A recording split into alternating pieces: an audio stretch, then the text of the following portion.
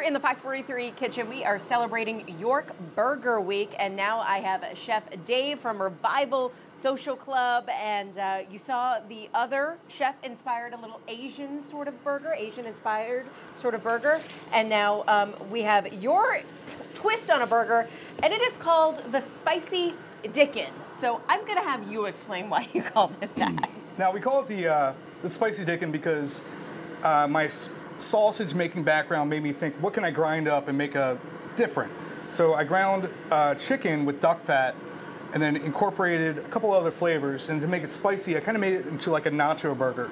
So we have elements of uh, pickled jalapenos, which I made, uh, pico de gallo, a queso fresco, and uh, crispy tortilla chips. So it's like a nacho burger with a like a chicken duck sausage patty. There we go. I'm just going to shut the fan off really quickly so we can make sure we hear everybody as good as we can. So you got all of those combinations. I know duck fat has become like a super popular thing, and it has a really cool taste to it as well. So it I does. love that you combined it all together. It's um, amazing. So what are you? Do you like your your burger spicy? Is that why you came up with this? You want it to be a little different?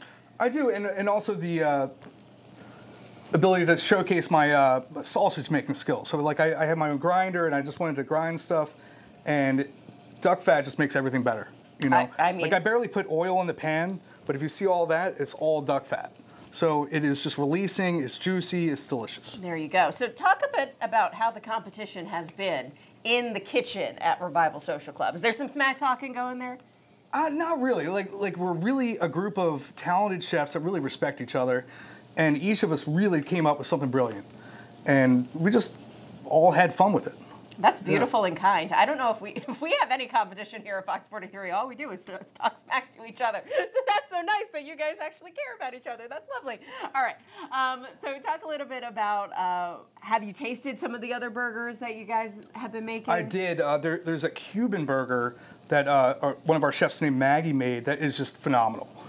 Um, we also have a pizza burger, which is selling very well. Mm. You know, and the, the burger on the menu is fantastic as well. Also, all great flavors. I love that Burger Week exists because it makes you expand your palate a little bit. Go go a little bit outside your comfort zone, which is one of these. Um, so coming up, we're gonna have you start plating this and getting it ready because we're gonna do a little bit of taste test. We're gonna try both of them here and let everybody at home know that they're probably both delicious, but we have we have to make everything a competition. Of course, at of course. Fox 43. So Danielle, we got two burgers to check out. We got a spicy one. We got an Asian inspired one. We got a lot of flavors in the Fox 43 kitchen. It's all looking great, Jackie. Looking forward to joining you in just a couple minutes.